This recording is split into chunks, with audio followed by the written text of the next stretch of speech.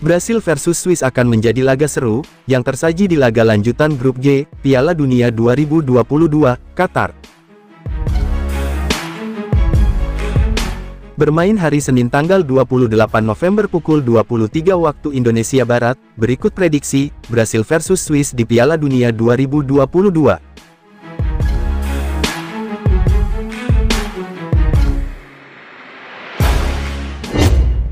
Kedua tim akan berlaga di Stadium 974. Brasil mengincar kemenangan untuk lolos ke babak 16 besar, bertabur pemain bintang, Brasil sepertinya bahkan bermain tanpa Neymar karena mengalami cedera pergelangan kaki saat menghadapi laga sebelumnya kontra Serbia.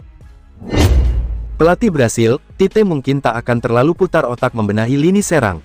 Sejumlah nama bintang lain masih berderet mulai dari Gabriel Jesus dan Richarlison. Brasil, hanya perlu memperhatikan statistik pertemuan, dalam empat pertemuan terakhir menghadapi Swiss, Brasil baru sekali menang, satu kali menelan kekalahan dan dua laga berakhir imbang. Sementara itu, Swiss boleh jadi dalam kepercayaan tinggi. Sederet kemenangan dicatat Swiss, dalam empat pertandingan, termasuk saat menekuk Kamerun 1-0, di laga perdana fase grup.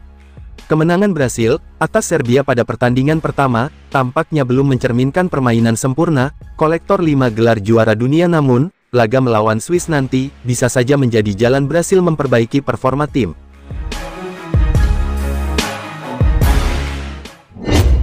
Swiss tentu saja, bukan tim sembarangan, dan dengan kekuatan yang mereka miliki tidak akan bermain bertahan total.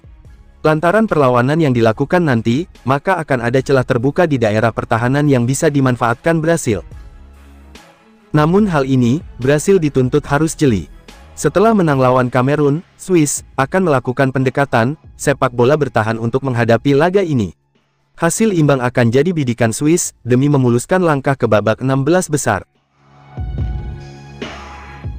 Brasil bakal menguasai penuh alur pertandingan, dan akan bekerja keras membongkar pertahanan Swiss. Bila Brasil bisa mencetak gol cepat, laga ini akan jadi lebih mudah.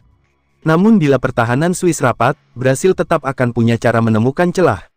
Lantas, berapa skor menurut kalian, laga Brasil versus Swiss malam ini? Silahkan tulis di kolom komentar.